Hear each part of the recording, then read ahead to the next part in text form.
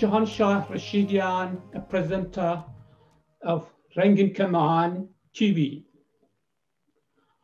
Today, we have a discussion about what's going on actually in Vienna. My guest is Dr. Bijan Eftekhari, a good friend of mine, and he is also a presenter. Before, I used to be his guest, and now I am the host. Maybe next time you will be the host. Mr. Eftekhari, if you want to make a greeting statement to our audience, here is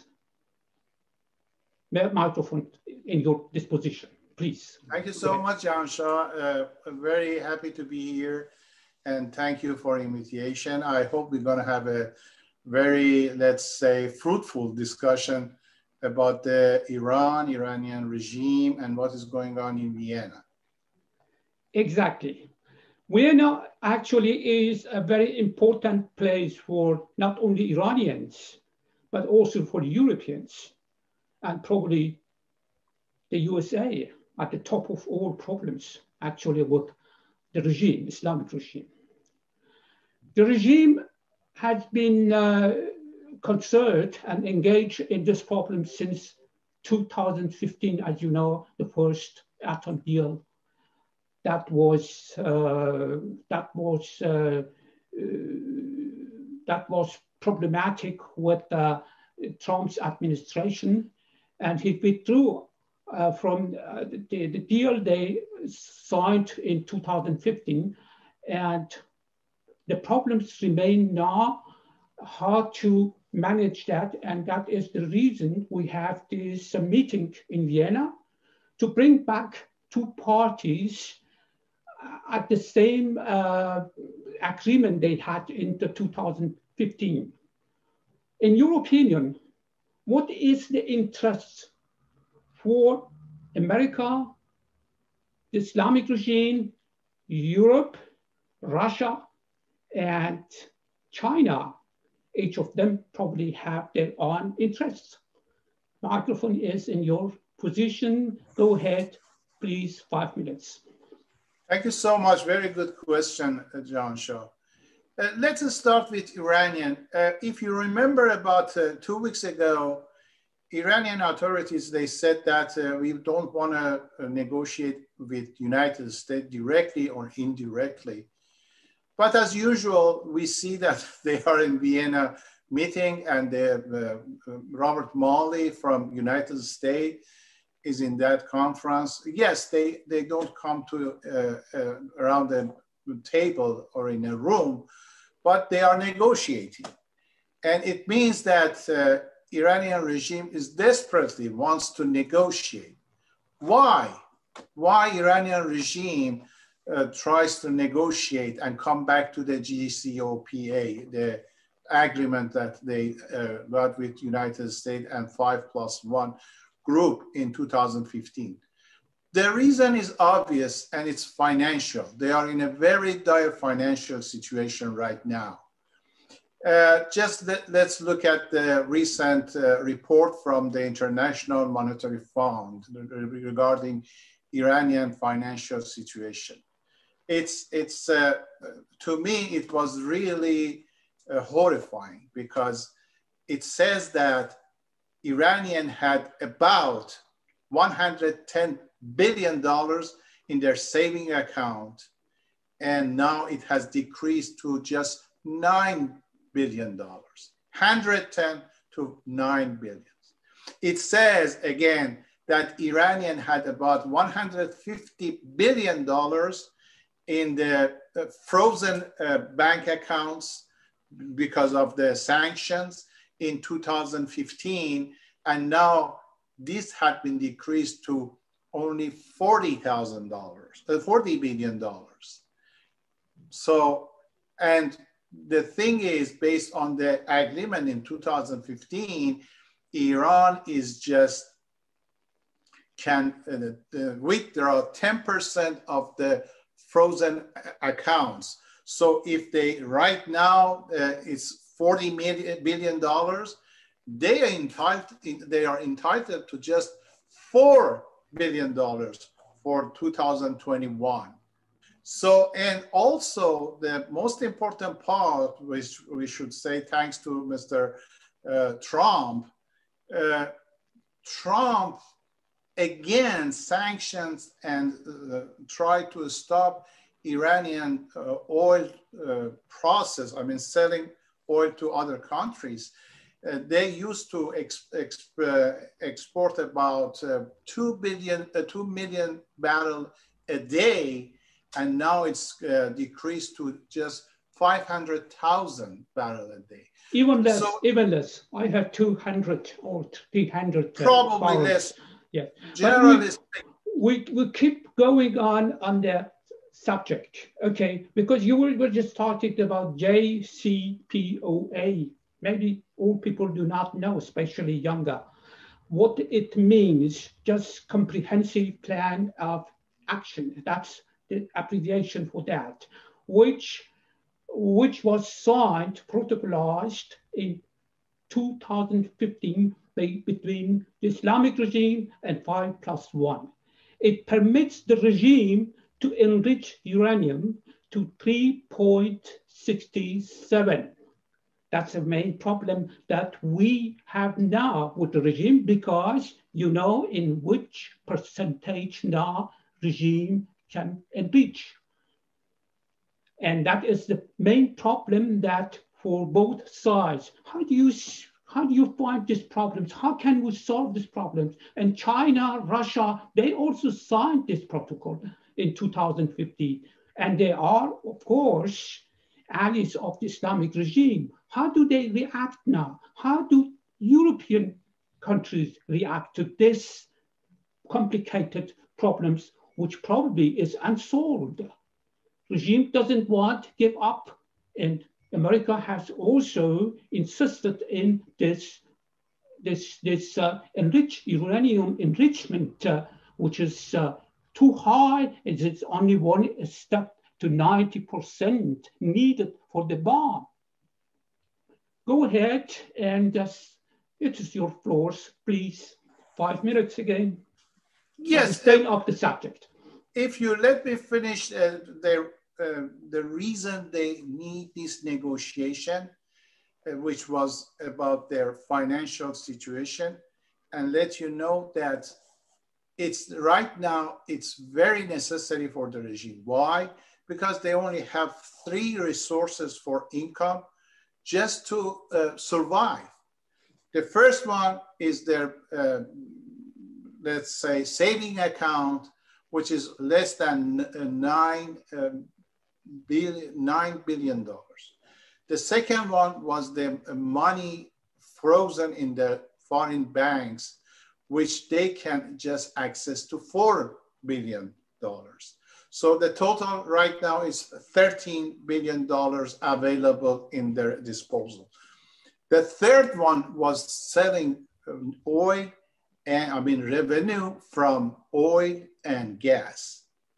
Last year, it decreased from $100 billion in 2015 to just $11 billion in 2020.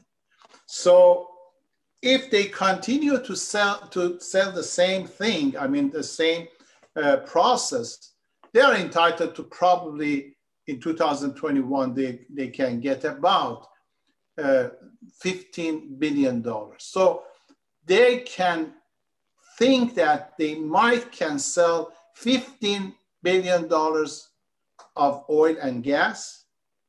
They have $9 billion in their saving account, and they are entitled to $4 billion from the money in uh, foreign banks. The total comes to about $28 billion. That's their revenue. But how about the expenses? Their expenses in 2015 was $100 billion.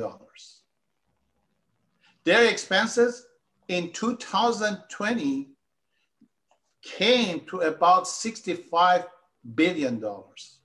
How did they pay? They paid from the saving account, they, they paid from the money they have in uh, uh, foreign banks.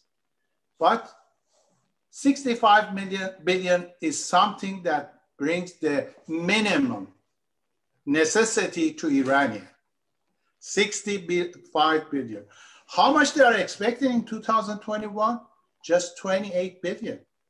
So there is a deficit close to 37 billion dollars deficit, which for that you can expect a kind of economical collapse very fast. So that's the necessity for Iranian regime to go to this meeting and try to remove the sanctions. The sanctions are killing them. That's the reason they are trying to remove the sanctions.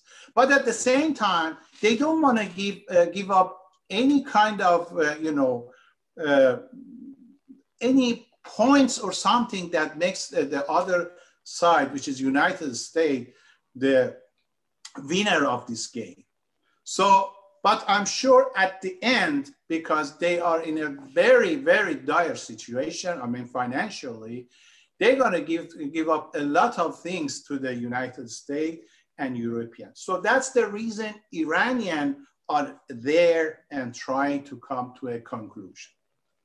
About the, uh, please go ahead. Yeah, yeah, I just wanted to know, you, you mean, uh, despite all the hypocrisy they have, they still want to have a part of cake for themselves, just to get rid of this uh, economic crisis that you mentioned. Is that yes. what they want? I mean, hypocrisy, but it's very clear. But how, how can, for example, Europeans and Americans do not realize it? They understand. Everybody knows that. If I know that, I'm sure that the United States knows better than me. Okay. But the, the thing is, United States has shown his uh, willingness that they don't want this regime to collapse or removed. They okay. want a regime like uh, current regime in Iran, which is in a desperate situation, and they always can get whatever they want.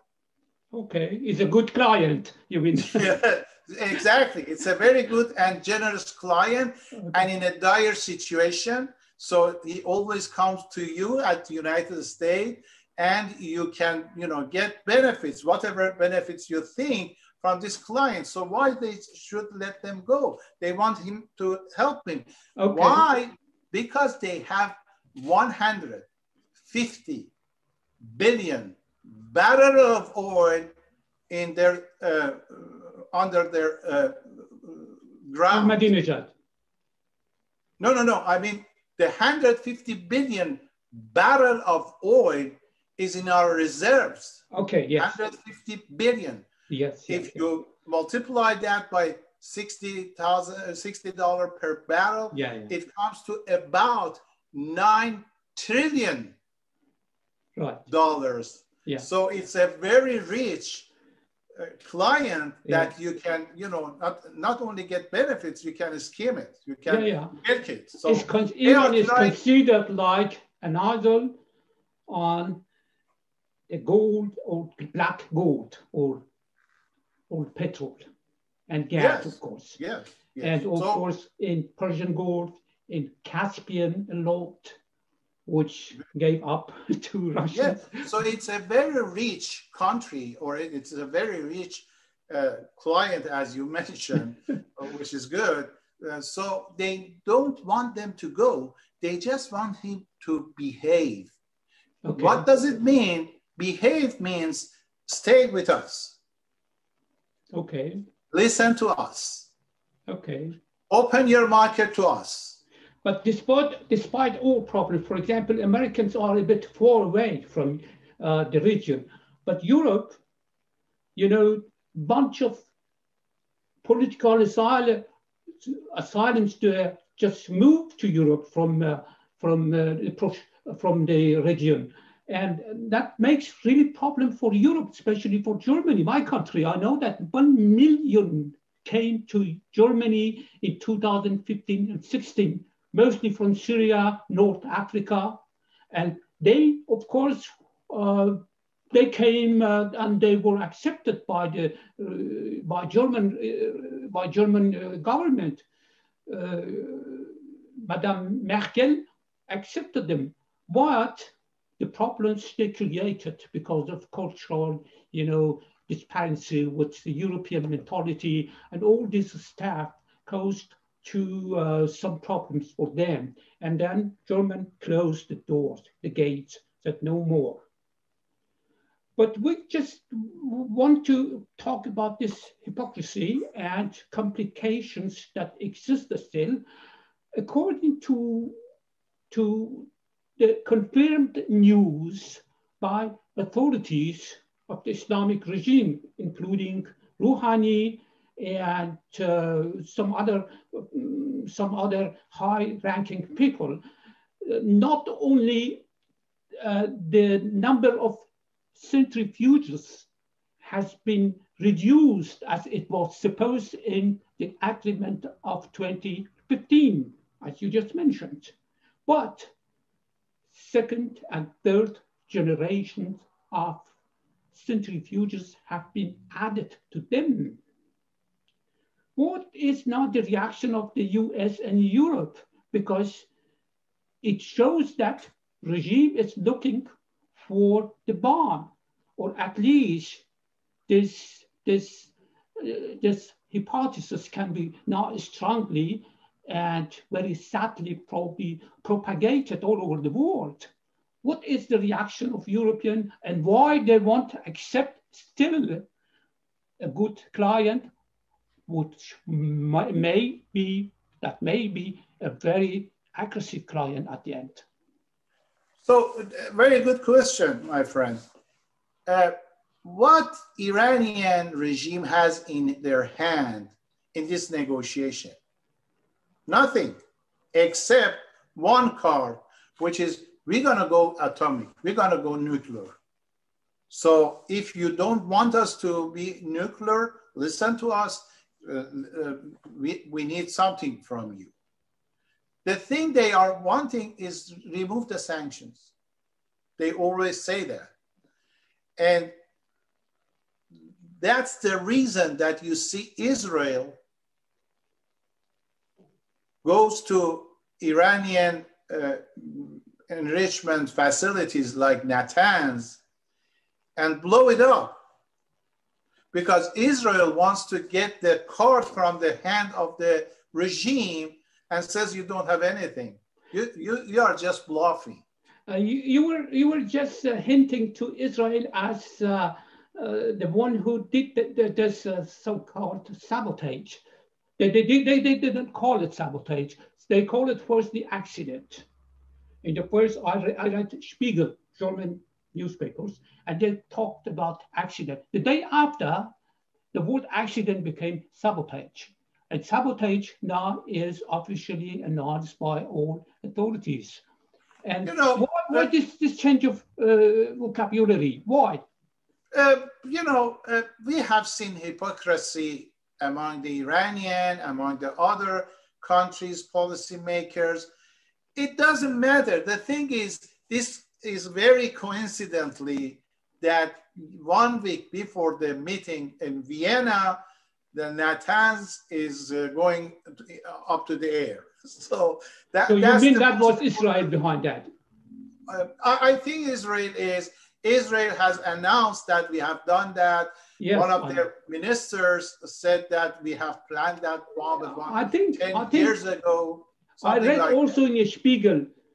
I read in a Spiegel quoting some Israeli media that Israeli media wrote also something from quoting uh, some Iranian uh, staff or newspapers that Mossad was behind this act, act of sabotage. I mean, Israel shows he doesn't like, of course, any agreement in Vienna, apparently. So, but he still he, he tries to stir up the situation to make it more complicated, probably. Is that what you mean? Or, uh, you know, uh, it, I believe that that was the only card Iranian had to play in this Vienna conference. That, okay, if you don't remove the uh, sanctions, we're gonna go nuclear. We're gonna uh, increase our activities, nuclear activities. We're gonna, we're gonna go from enrichment from 3.5 to 60. You know, uh, this is the only card they have. They, what else they have? Nothing. So that the, for that reason, and because Israel doesn't want to see a, another uh, agreement between United States and Iranian regime, uh, Israel goes and blows that up. So there is no card right now in the hand of Iranian. Iranian regime is in a very, uh, let's say, weak situation in the negotiation. And they have, right now, they have to, to listen to whatever they say. Uh, United States, European Union, Russia, and China. And they all love that. They all love this situation that Iranian has nothing in his hand for negotiation. And at the same time, they are desperate and they need money and uh, I believe this is the ideal situation. Whatever uh, these superpower wanted, it's now there, and they can take advantage whatever they want from Iranian regime. Iranian regime had a, a kind of leverage on nuclear deal and a kind of leverage based on terrorism. They already have groups like Hezbollah in Lebanon, Hashd al-Shabi in Iraq, uh, some Houthis in Yemen. These are terrorist groups that okay, 16 terrorist groups all over the uh, region. Yeah, yeah, right. Yeah. Uh, but I, I, read it also uh, Spiegel. That's also an important uh, uh, news uh, magazine which is online, and I translated this part of this part of the staff which I just following. I read for you. Iranian delegation, quoting Spiegel, in Vienna stressed last week. Spiegel was from 17th April, two days ago, that they stop the negotiation if nothing comes up from this negotiation. And that was a kind of threaten the situation. But later on, the same guy, this uh, vice minister, uh, Araghchi, said, we are happy to improve the negotiation. So he looks he looked like completely different. As you said, this hypocrisy is very, very evident and very uh, prospectively very clear. It shows up in every every single word they pronounce they pronounce. That is just to conclude your uh, statement about this about this uh, about conspiracy, uh, hypocrisy. But sometimes they don't know how to manage it. They are not enough intelligent, enough educated to know how to play with the wars diplomatically and how to get the things done as they need. Is that true? Uh, yes, you know, it reminds me when I was a small boy at home. Uh, sometimes I was get uh, disappointed or let's say upset with my mom, and because I knew she likes me, she loves me, I wanted, I would say that I'm not gonna eat anything anymore anymore. No, I don't eat anything. And then it was the dinner time, and I, mom was, uh, you know, uh, getting a dish for me. Uh, I was hungry and I wanted to eat, and I was saying, you know, I'm not going to eat, but that is not enough. So it reminds me the same thing. Iranian regime has nothing in his hand, you know, nothing very valuable to play in this uh, negotiation or to show something. So they have to just change their course of action and talking from day to day. One day they say, no, we, we don't want to negotiate with the United States directly or indirect, on indirectly. Then they come to Vienna, they send a delegation to the Vienna, and then they start negotiating. Uh, at the same time, they say, but we don't see any progress. Next day, they say, yeah, it's, it's going to go to somewhere because they want to, uh, to eat the dinner. They, they are very hungry. They are, as I said, they are in a very uh, desperate situation right now. So they have to come to a conclusion. This is their last chance. And everybody knows that. Well, it, it comes to my mind when you say that they want to achieve their goal in any price. Is the goal also to have 200 new centrifuges to enrich uranium at to 60%? Is, is that not so risky in your opinion?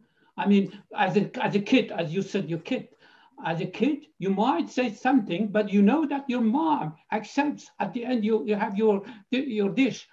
But it's not that risky if you would say your mom, if you don't give that, I'll explode, for example, your kitchen. Yes, that, uh, that's, that's, something it, like that, like the yeah. situation actually goes on. Exactly the same thing. Yeah, you are right, and that's what what is exactly they are saying that if you don't uh, give us the lunch or dinner, we're gonna blow up the kitchen. But the thing is, mom knows that they are not capable of that. Mom knows that the, Israel is there. Israel is, uh, uh, you know, breathing under their neck so Israeli gonna blow up everything before them. So they are not able even to do that. It's just a bluff, a bluff in the poker game that everybody knows you don't have anything in your hand. So this is a desperate game. This is, uh, they're not gonna win anything. They have to give a lot of, you know, uh, things or give up a lot of things to remove the sanction. For that reason, Mr. Biden knows that very well. The American delegation knows that. European Union knows that. Russia and China knows that. So let's say uh, we are playing a game, a poker game, and we know that uh, everybody knows that my hand is uh, empty. I don't have any anything in my hand, and I want to bluff. So it's obvious that's that, a question. That was also my question. I, I had just exactly in my mind to ask you if all this, um, you know, exaggerated uh, uh, blocks, as you said, 60% uranium, uh, is not a bluff or is is a is a real fact? What do you think? Uh, you know, it's it's hard to say it's not a bluff and it's hard to say that they are capable to do that. It's in gray area. It means that uh, they might try to do that, but at the same time, uh, United States knows that if the time comes, they can bomb all the facilities. Israel knows about that, and Israel already, already showed that they have every information about Iranian secret uh, secret uh, projects. So they blow up uh, everything they want uh, when the time comes. So generally speaking, uh, it's it's a kind of bluffing, but I call it desperate bluffing, not a okay. real real bluff. Uh, exactly. They, was in the middle in the middle of Vienna meetings which is vitally important for the Islamic regime and its, uh, uh, its existence actually in these economic crises that you described. Uh, there is no compromise if they put on the table 200 news centrifuges. Where did where do they come from? Do you know the origin of these new centrifuges? Are from North Korea, from China, from? I'm not even sure if there is something like that because there is no, uh, at least uh, something tangible information that says this is what they have. But even if they have it, it, it doesn't mean that they're gonna uh, have the uh, atomic bomb next week. Exactly. At least, exactly. Yeah, at yeah. least it will take another year for them yeah. to, to come close to, uh, you know, have the capability of nuclear uh, bomb or something like that. But the problem is time is ticking for the Iranian regime. As I mentioned in the first, that financially it's it's a horrible situation. They have about 65% deficit. And how they can overcome to that, it's, it's almost impossible. And just think about Iran. What is going on with the Iranian people? Iranian people showing protests, strikes every day. Unfortunately, uh, uh, Western media doesn't uh, show that because as I said, their government is in a, uh, in a situation they want to keep this regime. But Iranian regime knows that people are very angry, people are poor, people are hungry, and they are in the street every day. Every day we have uh, protests, strikes, whatever. The, the jails are and the prisons are full of the political activists. So True. it's a very, very dangerous situation for regime. That's why I call the new year 2020, uh, 2021 uh, a very critical uh, year for the Iranian regime. Okay. Well, I, I actually I avoid calling that Iranian regime. I say Islamic regime mostly. That's yes. or, or the regime. Okay, but you you are just emphasizing on the point that all these uh, staff, about 60% even 80%, you know, they uh, disperse these rumors around just uh, probably to make probably fear. But um, this, uh, this only is a bluff that they are not at that stage, uh, even for probably 20% enrichment because they, they announced that before that they got 20 percent, of course, for industry pharmaceutical reasons. Uh, they try to just find always a solution for everything. Yeah, justify it. Yeah, and now the day after the accident or sabotage in Natanz, as you said, the day after, one day after, they said we reached now 60% in one day, one single day. Is that, of course, uh, probably a, a, bluff, as you say? You emphasized on the bluff, yeah? Exactly. Uh, you know, uh, they know that this is a bluff, but it's something that probably when you have empty hand, uh, probably you are trying to find something, at least to show that no, I'm not an empty hand. I have something, but you don't know. It was very secret. These are uh, childish, my friend. It's okay. Childish another side, another side, another another another version of this bluff could be against actually Iranian people to make them understand, to warn them not to protest against the regime because the regime is so powerful that that could be a kind of propaganda for regime. I don't know if it's uh, people in Iran can buy that because uh, Iranian regime tell them, hey guys, your uh, Sardar Soleimani has been killed and you didn't do anything.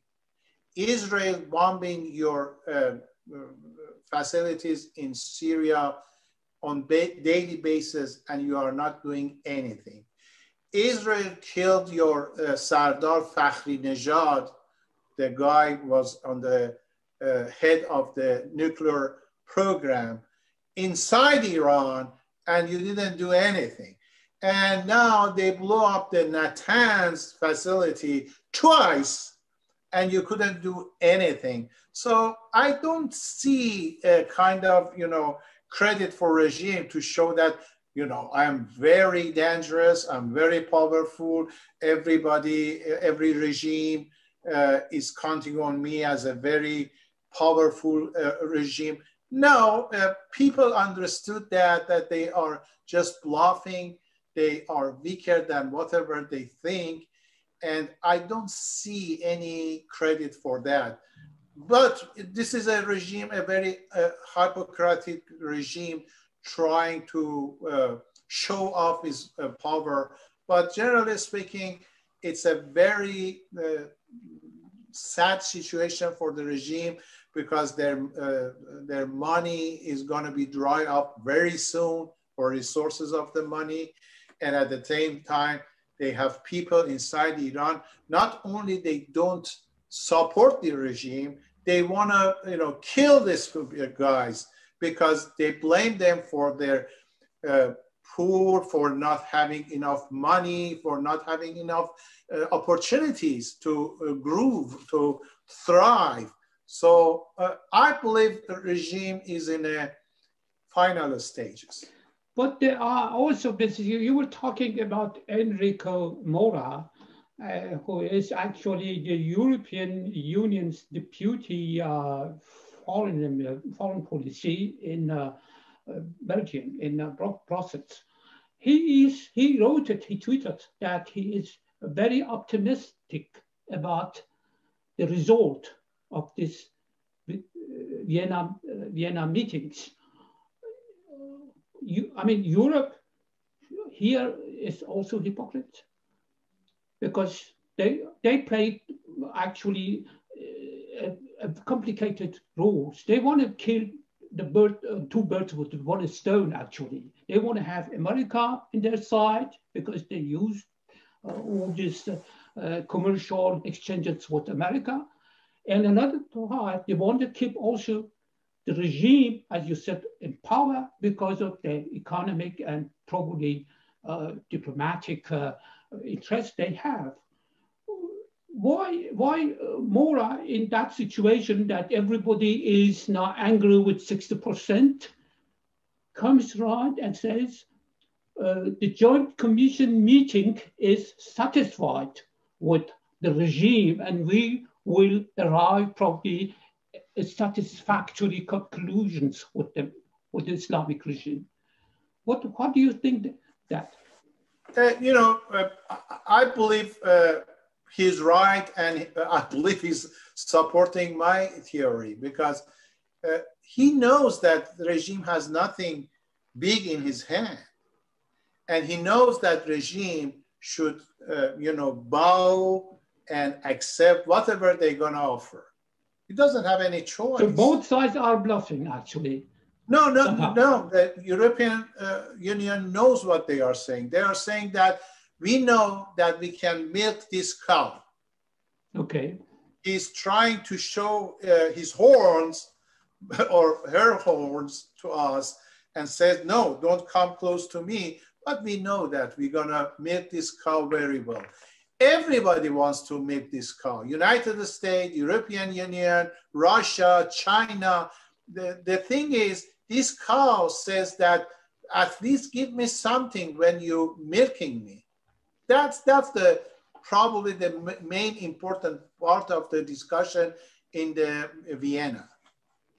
True, and another part also uh, from Spiegel, Spiegel, uh, just translated, uh, Mr. Araghchi, the head of uh, the head of uh, who heads the Iranian delegation in Vienna, stressed last week that Iran was not interested in endless negotiations. You see the hypocrisy? He said that a week ago, and now yesterday he's talking about the satisfactory results and happiness. And also European uh, uh, delegations have also uh, pronounced their satisfaction as they want to prolong uh, the, the, the, parasitic life of this Islamic regime in any price. You know, that means that uh, they have, uh, I mean, they have talked to Iranian delegation and they told them that we know you don't have anything. Your hand is empty, so uh, cut the chase and let's talk the business. And Iranian regime, at least the delegation, they understood that they don't have anything in his hand. So uh, instead of uh, talking propaganda or giving something for uh, feeding news or propaganda for uh, Iranian back in Iran, they understood that they have seat on the table and behave like a, a good boy. And uh, other groups, I mean, Russia, China, European Union, and United States will dictate their will on this regime. I have no doubt about that. Regime and its delegation can talk about uh, we are very powerful. We are not going to accept anything. No, we don't give you any advantage. You cannot take advantage from us. These are just words, has no uh, value, to be honest with you. The, the real thing going to happen, and very soon we're going to see another contract or agreement with, the, with them. I'm sure about that. They're going to get another agreement because right now, maybe some people think that China and Russia are with the Iranian regime. It might be true, but as long as the sanctions are there, they cannot do whatever they want to do. They, otherwise, they have to risk their relationship with United States and European uh, countries. For that reason, even Russia and China are pushing this regime that go and listen to United States, come to a conclusion, conclusion that can let the United States remove the sanction. When the sanction has been removed, we have the you know freedom to do business with you, and we're going to help you. But right now, our hands are tied, and we are not able to cooperate with you guys. So everybody on that uh, meeting are pushing Iranian delegation uh, to go and listen to United States if you want to remove the uh, sanction another question. We, have been talking about uh, uh, what is going on in Vienna, Europe, China, Russia, America, and so on. And what is going on now in Iranian public opinions? How do they judge? We have love, we have hypocrisy, we have arguability, we have all these negative stuff. And we know, we both know that these these negative uh, adjectives exist in their characters in their relationship with Europe, with America, but Iranian also know that. What is the reaction of Iranians, in your opinion, now about Vienna talks? Uh, uh I'm sure I didn't, under, uh, I did understand your question. Do you mean that what is the thoughts of mm, Iranian regime? What kind of judgment? What kind of judgment now Iranian people, average people. people, average people, yeah. Now I don't I don't talk about intellectuals like you and people who are inside, outside, or in prisons mostly, but average people, how do they judge actually over what is going on in Vienna and how pessimistic or optimistic they judge this uh, scenario? You know, Iranian people back in Iran were very optimistic in 2015. And after that agreement, uh, people came to the street, they danced, they were happy.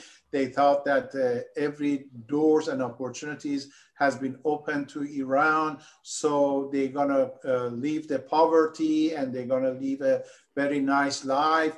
Uh, you know, uh, United States and European companies come to Iran, they invest in Iran, and the economy gonna thrive. That what was the, regime trying to tell to the people that this is the result of the agreement. It didn't happen. Even the Chinese and Russian companies left Iran after 2015. So it's very hard to sell it again to the Iranian people that, uh, you know, wait, uh, we know we messed up the 2015 agreement, but we're going to get another agreement. And that's going to bring you a lot of happiness. So wait, it's very, very hard. But as I said, also people like in Iran are desperate. They, okay. Most, more than 70% of Iranians live under the uh, uh, poverty line. Poverty line. Okay. people are yep. very desperate. Yeah, I know that. Well, back to China and Russia, because you mentioned these two countries as uh, allies of the Islamic regime, or in another word, the countries that are not very loved actually by average Iranians. Regarding the fact that China and Russia also signed this protocol of 2015, what you mentioned, that Iran is, or Islamic regime, I would say, the Islamic regime is allowed to have uranium enrichment to 3.67, I think, okay? They, they signed that. And now they hear about 20, 60, probably 80. Why do not they react according to the protocol they signed, that was protocolized in 2015, also in Vienna? What is the character, the hypocritical character of these two countries who support in any price, any price, to any price, the Islamic regime, despite all these problems people of Iran have with this regime and all this crisis that is, these are created by the regime, mafiosi, uh, mafiosi bonds actually in Iran. Why these two countries do not hear to Iranian people? Uh, first of all, uh, I believe that China and Russia, they are not in favor of Iran as a nuclear country. They don't want add another member to their uh, nuclear club, uh, club like uh, you know Russia, China, Pakistan, India, Pakistan, yeah. India, uh, Israel, some, of course. Yeah, some of these countries. They don't want, add, especially this crazy regime. Yes.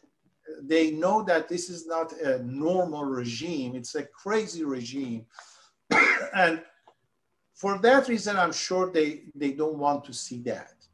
But how they act, it might be a little different they might talk uh, in the uh, secret in a you know private room with the Iranian regime and tell them that you cannot have the nuclear uh, weapon in your hand.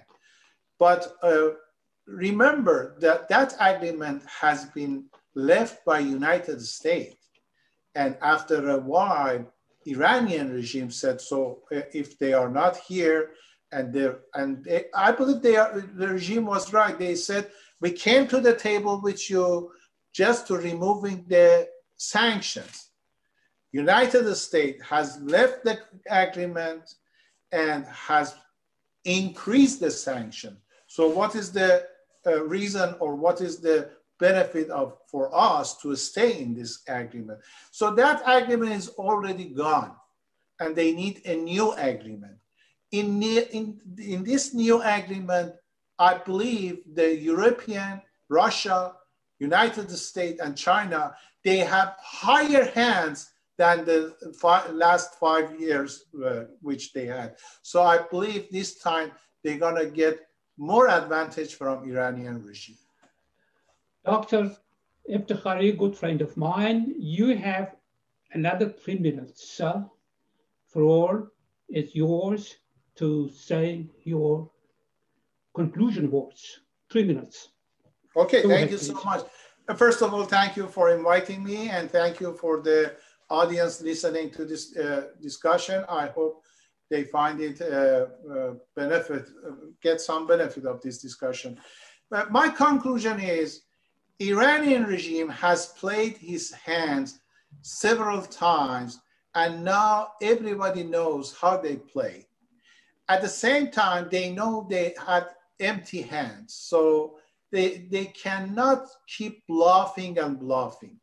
Uh, five years ago, they were in Syria with a very strong hold and powerful uh, situation in Syria, or generally speaking, in Middle East. It has been changed. Now they are weak, very weak, and they don't have uh, that kind of muscle to, you know, bully other countries. That's one fact. The other fact is back in Iran, Iranian within last five, six years has been uh, very angry with this regime because none of their promises has been, uh, you know, uh, show anything. They haven't seen any of these promises come to a reality.